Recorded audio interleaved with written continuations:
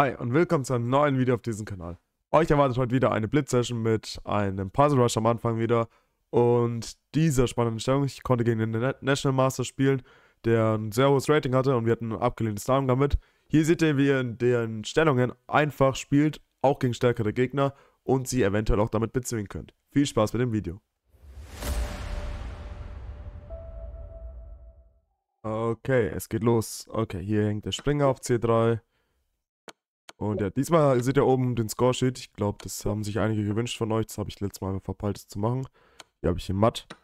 Und ja, da seht ihr, ich spiele das in 3 Minuten Länge. Einfach kurz ein bisschen Taktikaufgaben machen, bevor ich jetzt irgendwie drauf losblitze. Um dann einfach ein paar Motive schon mal drin sitzen zu haben. Gut, soweit ist es ganz einfach. Dame schlägt G2. Ähm, hier sollte ich ein Grundlinienmatt haben mit dreifachem Figurenopfer. Dame D7 ist matt. Turm 1 F6 ist matt. Und hier wieder das klassische Grundlagenmotiv. Genau, soweit läuft es ganz gut. F4. Ich probiere jetzt mal relativ gut zu spielen, also wirklich so gut wie möglich, um zu schauen, was drin ist so in innerhalb drei Minuten. Ich glaube, das interessiert euch bestimmt auch. Gut, hier habe ich Springer F6, Turm E8 und Dame schlägt F5. Der Läufer ist dadurch ungedeckt. Springer F6, Turm H5, Turm schlägt H7. Äh, damit C8, wichtig. Gut. Ähm, hier kann ich diesen Bauern zuerst nehmen und dann auf A1 Schach geben. Dame E6 und Dame E7 ist matt. Dame D8 ist matt. Hier diese Springer-Schächer oder ich spiele halt Läufer C5. Ich weiß nicht, ich habe jetzt einfach mal Läufer C5 gespielt. Muss ja relativ schnell spielen. War jetzt irgendwie falsch, aber okay, nicht so schlimm. Turm D6 Schach sieht ganz gut aus. Ist sogar matt.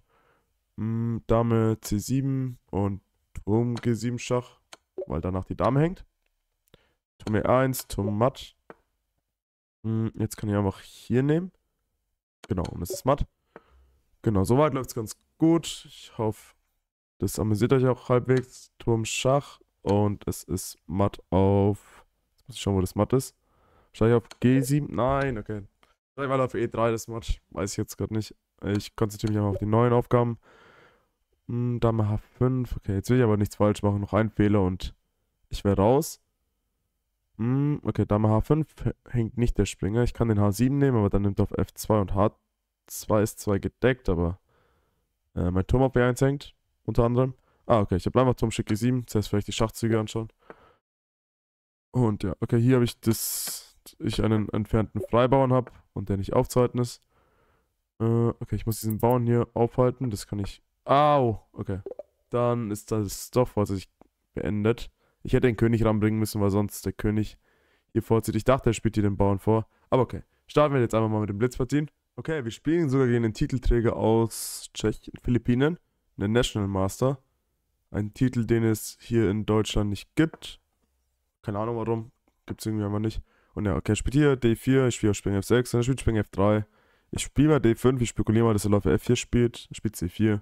Okay. Dann gehen wir ins abgelehnte Damen mit rein. E6, Läufer E7. Alles noch sehr Standardzüge. Okay, Läufer G5. Ich spiele mal hier H6.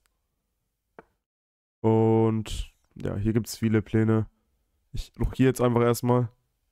Spiele dann gleich C6. Hoff mal, dass er hier nimmt. Macht er nicht.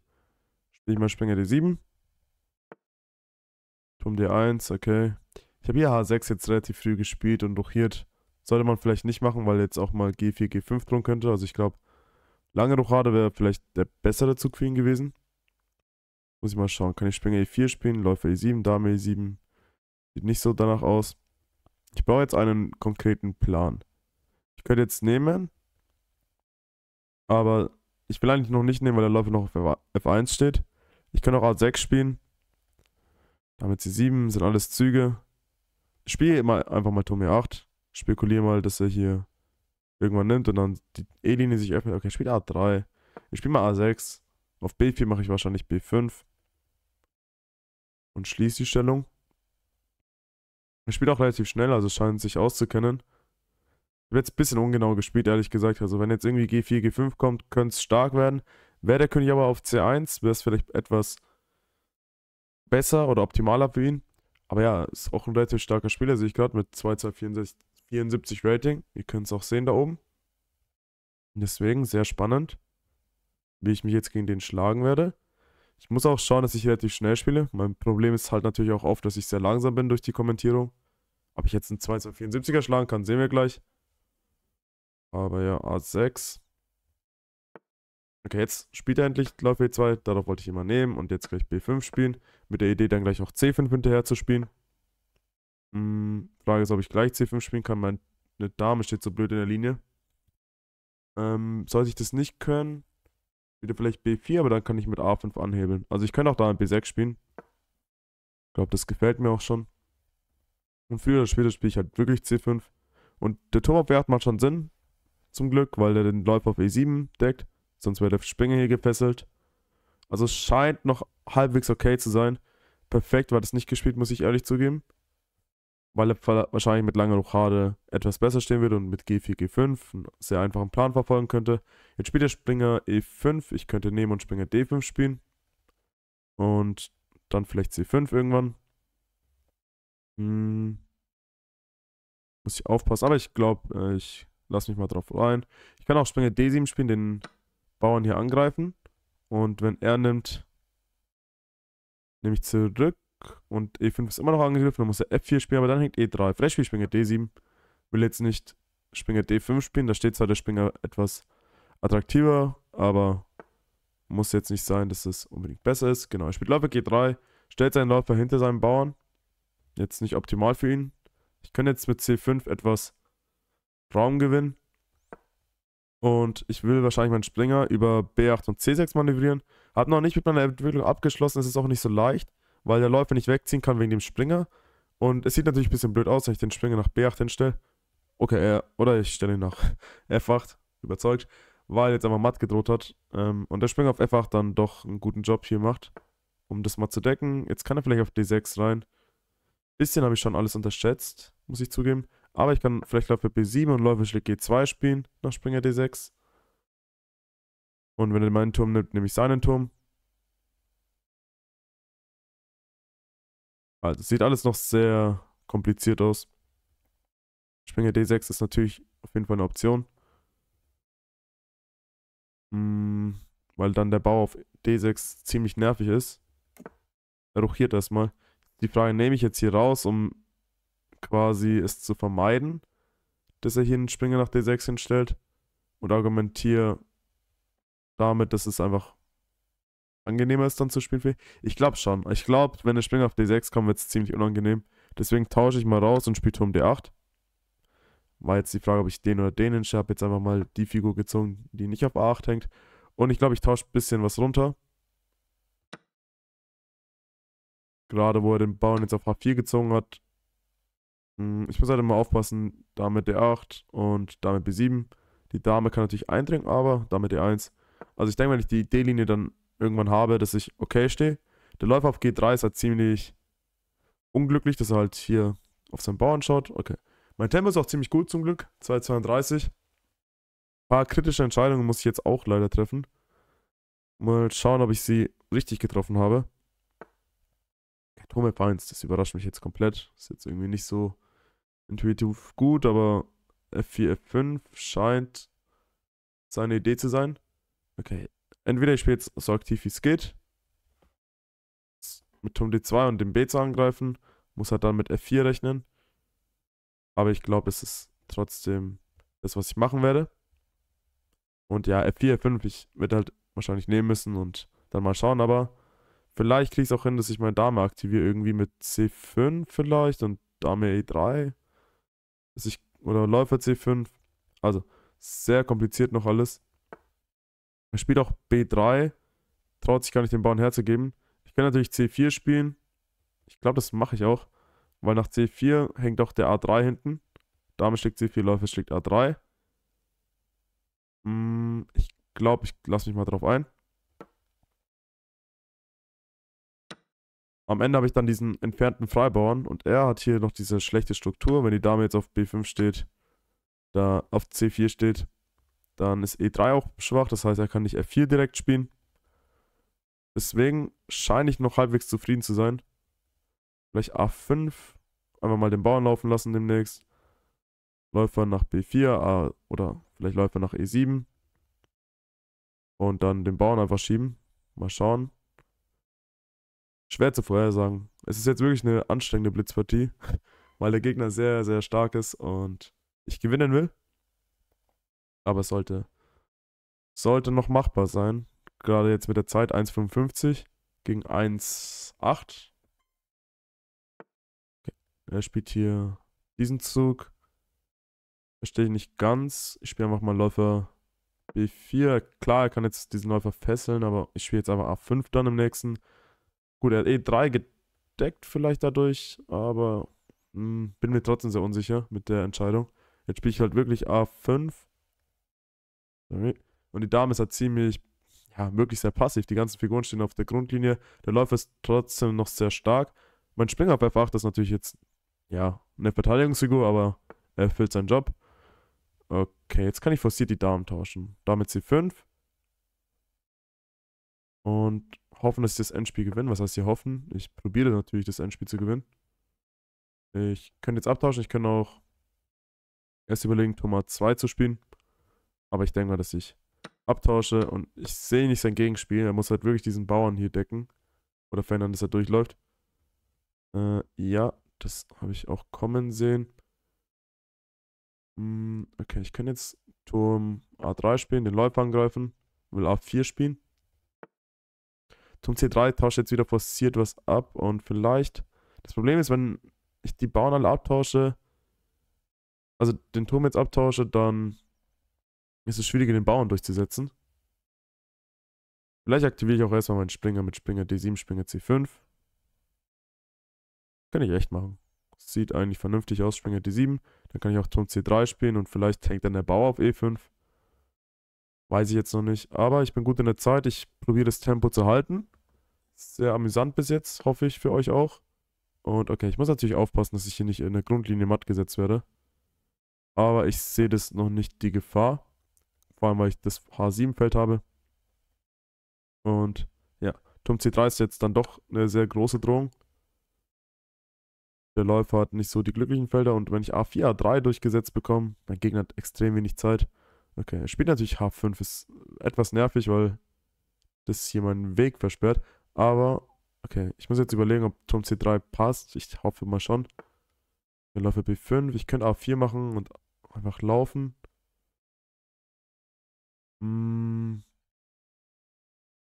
Hat er hier eine Drohung? Also, ja, er hat eine Drohung, sehe ich gerade. Das ist natürlich das Gegenspiel, was ich nicht erlauben will. Können natürlich jetzt hier G5 spielen und König G7. Ja, ich glaube, das ist bitter notwendig, weil sonst spielt einfach Läufer E8 und greift den Bauern an. Und dann hat er hier vielleicht eine Schaukel. Ich nicht und er hat echt extrem wenig Zeit. Ist wahrscheinlich jetzt der stärkste Gegner, den wir hier in der Session besiegen. Und ja, seine Zeit fällt auch aus. Aber wir stehen hier auch klar besser. Gerade mit dem Freibauern hier ist es schon extrem schwer jetzt für den Gegner. Und cool, haben wir mal gegen den Titelträger live gewonnen mit Kommentierung. Und schauen wir mal, was die nächste Partie verspricht. Okay, wir haben endlich mal eine Weißpartie.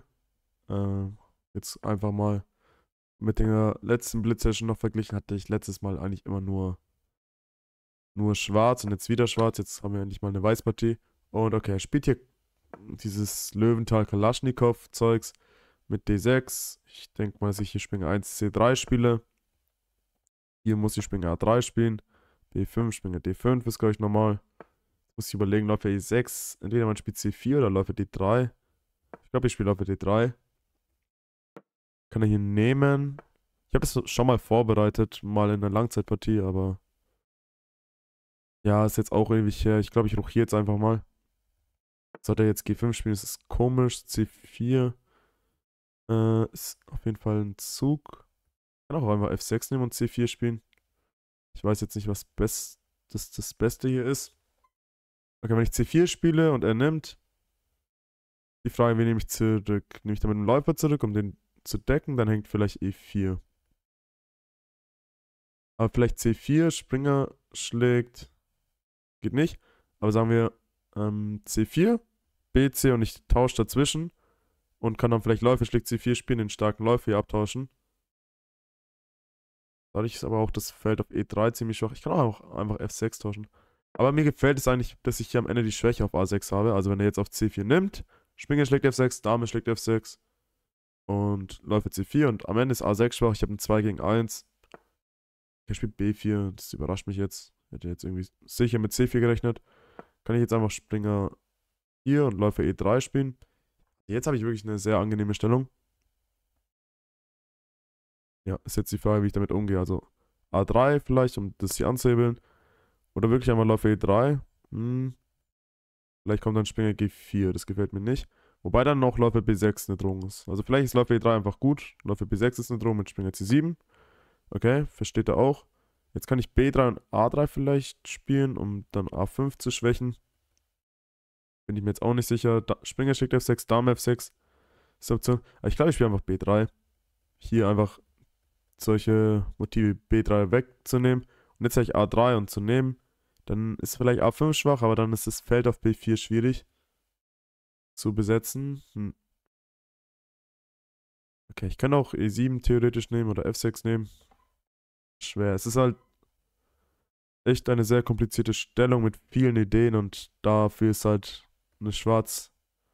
Also die schwarze Stellung ist dafür ganz gut, weil wahrscheinlich Schwarz die Pläne besser kennt als ich als Weißer. Ich stehe dafür ganz gut, aber ich weiß jetzt nicht ganz genau, wie ich das ausnutze. Spielen wir, glaube ich, mal damit E2 erstmal.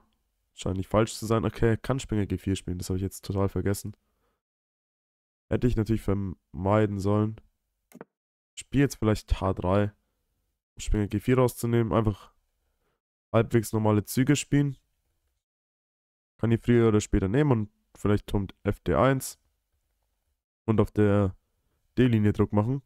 Das mache ich jetzt mal. König H7 gefällt mir eigentlich nicht. So in die Diagonale vom Läufer zu laufen, hätte ich auch vielleicht F4 spielen können. Mm, aber vielleicht hätte ich auch schlägt H6. Was ich aber nie überlegt habe. Jetzt kann ich F4 überlegen. Ich kann auch Springer E7 überlegen. Ich kann auch jetzt erstmal Läufer F1 spielen. Und drohen, dass ich auf C7 nehme und dann auf D6. Vielleicht spielt aber Springer C5 was das Ganze dann erschweren wird. Okay, er gibt mir wirklich freiwillig den Bauern. Hätte ich jetzt nicht erwartet. Ich nehme jetzt einfach den Bauern. Ich weiß jetzt nicht, warum ich es nicht tun sollte. Außer meine Dame ist irgendwie gefangen, aber unvorstellbar, dass die Dame hier auf der D-Linie nicht genug Felder hat. Hm, ich, er ist auch am überlegen. Ich glaube, das hat er aber verpasst, dass ich hier die Drohung aufgestellt habe. Also, zum Glück habe ich es mit einfachem Spiel geschafft, einen Vorteil auszunutzen. Jetzt mal schauen, ob ich das dann auch zeitlich über die Bühne bringen kann. Vielleicht C5, C6. Hm, Dame schlägt E5 früher oder später. Okay, deckt er. C5 ist natürlich verlockend. Ist extrem stark der Bauer und nimmt hier ein bisschen die Felder vom Springer weg. Und dann auch gleich C6 hinterher. Okay, spielt hier Dame A4. Frage mich, was auf G3 macht. Wahrscheinlich Dame. Dame F6 und vielleicht spiele ich dann König H2 einfach. Aber. Ja, es muss alles nicht sein. Also ich stehe auch so gut. Vielleicht spiele ich einfach C6 und C7. Push den Bauern einfach ein bisschen durch. Der Springer muss jetzt erstmal nach F6 ziehen. Dann ist die Dame noch mehr in Gefahr nach G3. Okay, spielt nach F8. Ist auch okay. C7 und Läufer A6. Also ich sieht schon eigentlich sehr gut aus für mich. Vielleicht spiele ich aber erst Springer. Okay, er droht ja nichts. Wirklich gar nichts. Und ich spiele vielleicht einmal Springer E1, Springer F3. Hab jetzt den Bauern eingestellt. Das war jetzt dämlich. Hätte ich nicht machen sollen. Hm. Ja, okay. Das ist natürlich schade. Den nimmt er jetzt natürlich auch. Ich hoffe, dass der Springer vielleicht sich irgendwann wegzieht und dass ich dann Läufer D3 habe. Deswegen spiele ich jetzt nicht direkt Läufer D3 verbessere erstmal meine Stellung. Ich denke aber, dass ich mit dem Bauern auf C7 trotzdem noch sehr gut stehe. Und seine Figuren ja auch einfach alle ein bisschen, ja, merkwürdig stehen.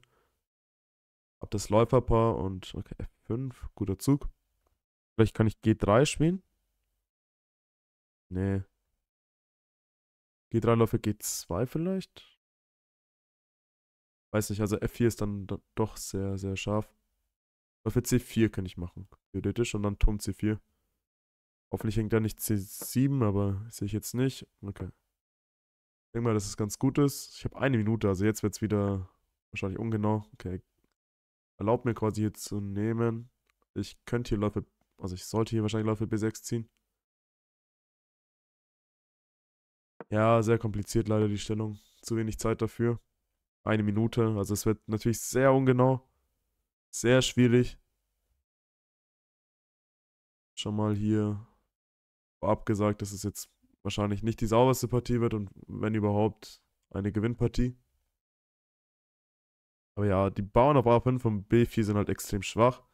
Aber sein Angriff ist extrem stark, muss man auch zugeben. Also F3, wie ich jetzt mal, sieht nicht so schön aus, weil es hier alles öffnet, aber der Läufer deckt alles. Ach, oh, ich bin, ich bin Trottel. Ich hatte einfach Läufer D3 und die Dame wäre weg gewesen. Also jetzt fängt es auch wirklich an, ungenau zu werden. Hm. Läufer E6, Turm E6, Dame E1 vielleicht, aber es sieht auch nicht gewonnen aus. Ich spiele einmal Läufer E5. Darf nur nichts einstellen. Das ist jetzt das Wichtigste. Keine dummen Fehler. Der Turm ist, glaube ich, gefangen. Ich kann es nicht sagen. Wahrscheinlich hat der Läufer D7 und ich kann hier nicht zurücknehmen, weil dann E3 am Ende hängt. Keine Ahnung was. Also es ist total. Und ja, er spielt auch die Variante. Vielleicht kann ich auch einfach. Ja, ich weiß es nicht. Also nehmen, nehmen, Läufer F2 vielleicht, dann hängen zwei Figuren. Vielleicht. Hängt der Springer auf H4 und der Springer auf D7. Das ist sehr anspruchsvoll. Erschöpft mich auch gerade ein bisschen. Aber es sieht gut aus, muss ich zugeben. Es sieht optisch, optisch ganz gut aus. Objektiv weiß ich jetzt nicht, ob ich hier nicht was einstelle. Aber ja, der C7-Bauer war dann doch sehr effektiv.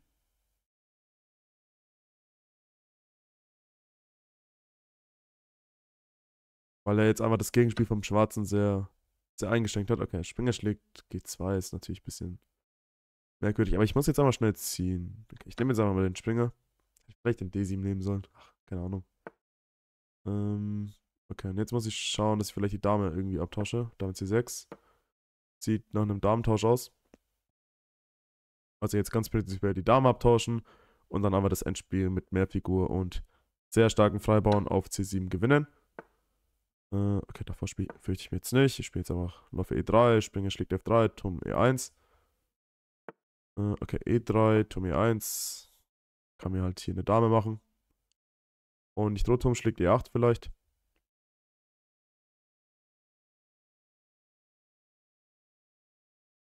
Hm. Ja, 18 Sekunden. Also es ist extrem, extrem knapp. Ich nehme jetzt mal. Ich hätte Turm schlägt. Na, hätte ich nicht. E3. Ich hoffe, dass sich das alles hier hält. Springer schlägt F4. Probiere ich mal den auszutricksen. Ich hoffe, dass er hier nimmt. Dann habe ich Springer Schach. Macht er nicht. Ah, dann C5 Moslip. Aber nicht so schlimm. Springer D5. Ich tausche hier weiter ab. Tausche, nimm hier den Bauern. Und jetzt wird es wieder ein Zeitnotgehacke. Wie man das so schön sagt. A3. Ich nehme hier raus. Ich probiere wieder den Turm auf A7 hinzustellen. Mein Läufer hängt Turm A7.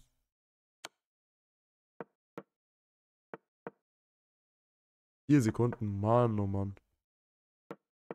Mal den Turm auf ein dieses Feld. Okay, ich probiere das irgendwie über die Zeit noch zu heben. Vier Sekunden, also ich werde jetzt irgendwie dumm pre-moven. Oh, er tauscht ab. Überrascht mich. Ich nehme jetzt auch mal den H6. Und gehen dann gewonnenes Bauen ins Spiel. Ich hoffe. Oh. Nee. Ach komm. Es ist wirklich immer das gleiche, leider, in letzter Zeit, dass ich viel zu langsam bin für diese Sessions. Aber ja, es ist einfach dieses Kommentieren und Spielen ist schwierig. Und auch beim Pre-Moven hat jetzt irgendwie nichts funktioniert, weil der Gegner das auch clever gemacht hat. Also hier habe ich ja die ganze Zeit König H5 gepremoved. Ein normaler Mensch würde vielleicht den Bauern nehmen, aber er hat König G6 gespielt. Und hier habe ich F4 gespielt und dann, ja, nach H5, F5. Normal nimmt man den vielleicht und dann erlaubt er mir hier den Bauern zu nehmen. Dann ist die Stellung mindestens Remis, weil er kein Material mehr hat. Naja, so ist es halt. Ich hoffe, euch hat es trotzdem unterhalten. Waren trotzdem zwei unterhaltsame und coole Partien, hoffe ich. Und für weitere solche Videos abonniert den Kanal, lasst ein Like da und wir sehen uns beim nächsten Video. Ciao.